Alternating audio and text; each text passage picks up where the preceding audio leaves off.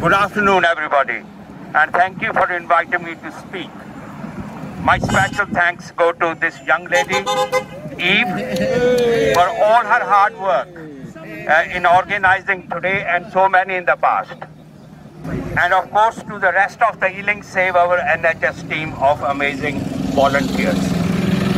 Before I begin, though I would like to express my shock and sadness at the Russian invasion of Ukraine.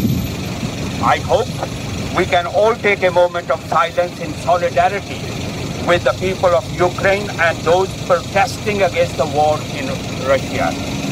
The brave protest is not allowed in Russia as today we are using our freedom of protest. We are gathered here in love of our NHS it is one of the institutions that makes so many of us proud of our country. It is a bastion of equality, free 24 hours a day, 7 days a week for everyone and anyone who needs care. That is why the Tories hate it.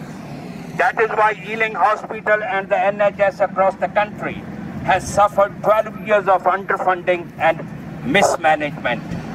It does not make a profit. It does not let you jump a queue because you can't pay. So Boris Johnson does not understand it. Let us be clear. The NHS has saved millions of lives through the pandemic. It has been taken past breaking point, and yet day after day, the heroic men and women that work in the NHS have kept it going. Ladies and gentlemen, the issues we see today are the, not the fault of the NHS for mismanagement. They are not the fault of exhausted nurses, doctors and porters. They come from a political decision to understand the NHS. We here say no. We have said no before, and we will say no again. When they tried to close Ealing Hospital, it was the people here who stopped them.